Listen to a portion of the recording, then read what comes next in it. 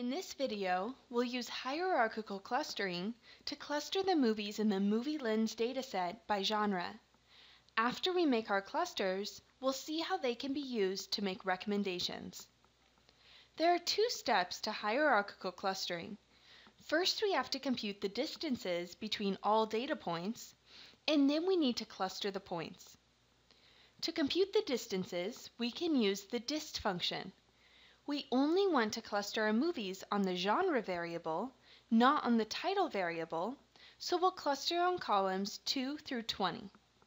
So let's call the output distances, and we'll use the dist function, where the first argument is movies, square bracket, 2 through 20, this is what we want to cluster on, and the second argument is method equals, in quotes, Euclidean, meaning that we want to use Euclidean distance. Now let's cluster our movies using the hclust function for hierarchical clustering.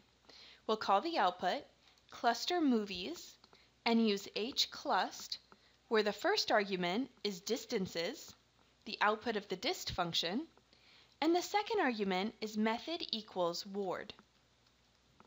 The ward method cares about the distance between clusters using centroid distance and also the variance in each of the clusters. Now let's plot the dendrogram of our clustering algorithm by typing plot and then in parentheses cluster movies. This dendrogram might look a little strange. We have all this black along the bottom. Remember that the dendrogram lists all of the data points along the bottom. But when there are over a thousand data points, it's impossible to read. We'll see later how to assign our clusters to groups so that we can analyze which data points are in which cluster. So looking at this dendrogram, how many clusters would you pick? It looks like maybe three or four clusters would be a good choice according to the dendrogram, but let's keep our application in mind too. We probably want more than two, three, or even four clusters of movies to make recommendations to users. It looks like there's a nice spot down here where there's 10 clusters. This is probably better for our application. We could select even more clusters if we want to have very specific genre groups. If you want a lot of clusters, it's hard to pick the right number from the dendrogram. You need to use your understanding of the problem to pick the number of clusters. Let's stick with 10 clusters for now, combining what we learned from the dendrogram with our understanding of the problem. Now back in our R console, we can label each of the data points according to what cluster it belongs to using the cutree function. So let's type cluster groups equals cutree, and then in parentheses, the name of our clustering, cluster movies, and then k equals 10, since we selected 10 clusters. Now let's figure out what the clusters are like.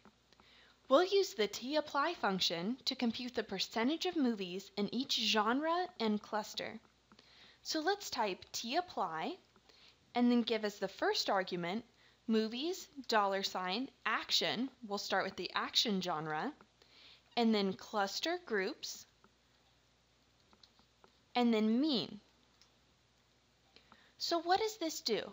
It divides our data points into the 10 clusters and then computes the average value of the action variable for each cluster. Remember that the action variable is a binary variable with values 0 or 1. So by computing the average of this variable, we're computing the percentage of movies in that cluster that belong in that genre. So we can see here that in cluster 2, about 78% of the movies have the action genre label. Whereas in cluster 4, none of the movies are labeled as action movies. Let's try this again, but this time, let's look at the romance genre.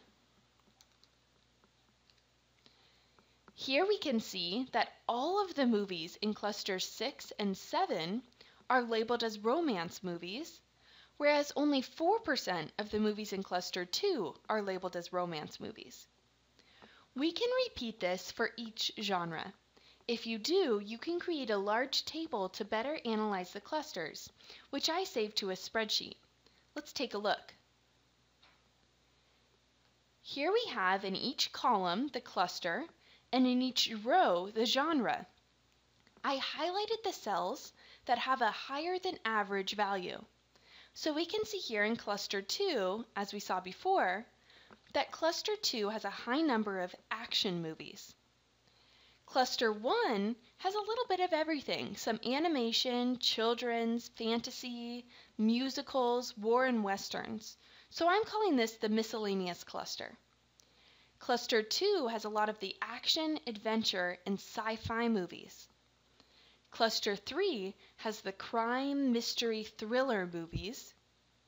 Cluster 4 exclusively has drama movies. Cluster 5 exclusively has comedies. Cluster 6 has a lot of the romance movies.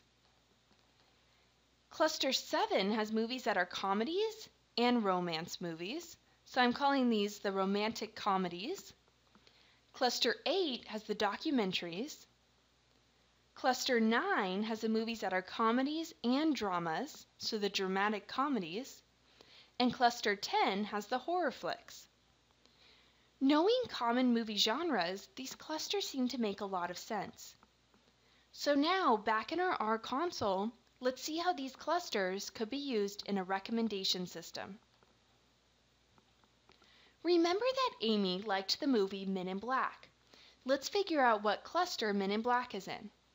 We'll use the subset function to take a subset of movies and only look at the movies where the title is equal to Men in Black and then parentheses 1997. Close the quotes in the parentheses. I knew that this is the title of Men in Black because I looked it up in our dataset. So it looks like Men in Black is the 257th row in our data. So which cluster did the 257th movie go into? We can figure this out by typing cluster groups and then square brackets 257. It looks like Men in Black went into cluster 2.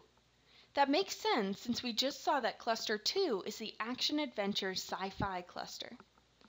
So let's create a new dataset with just the movies from cluster 2. We'll call it cluster 2 and use the subset function to take a subset of movies, only taking the observations for which cluster groups is equal to 2. Let's look at the first 10 titles in this cluster. We can do this by typing cluster2, dollar sign title, and then square brackets 1 through 10. So it looks like good movies to recommend to Amy, according to our clustering algorithm, would be movies like Apollo 13 and Jurassic Park. In this video, we saw how clustering can be applied to create a movie recommendation system. In the next video, we'll conclude by learning who ended up winning the Million Dollar Netflix Prize.